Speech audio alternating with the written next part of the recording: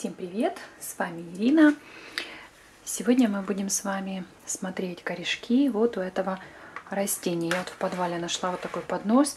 Ему, правда, уже больше лет, чем моему ребенку, но для пересадки будет просто супер, потому как я высыпаю в мусорный пакетик, потом это шуршу. Это все не очень удобно. А здесь, я думаю, будет гораздо удобней. Это вот такая вот орхидеюшка.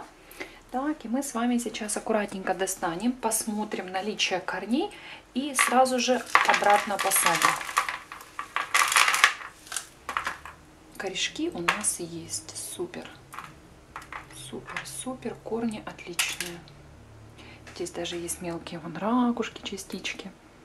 Корешки классные. Супер. Все, я даже больше не хочу трогать.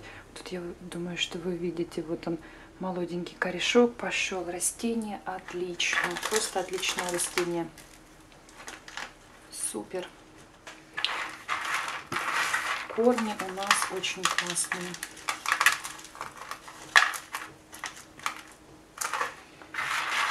Вы видите, какой субстрат. Есть частички мелких ракушек. Корни супер. Я думаю, что вы уже все знаете, любители башмачков, что у башмачка очень важно наличие корней. Очень важно.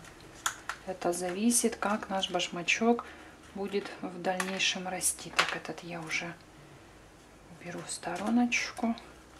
Так что вот такой вот отличный у нас башмачок. Корни. Ну, я думаю, что говорить больше не стоит, чтобы вы сами, сами видели, какие у нас корешки. Так что растение просто-просто отличное.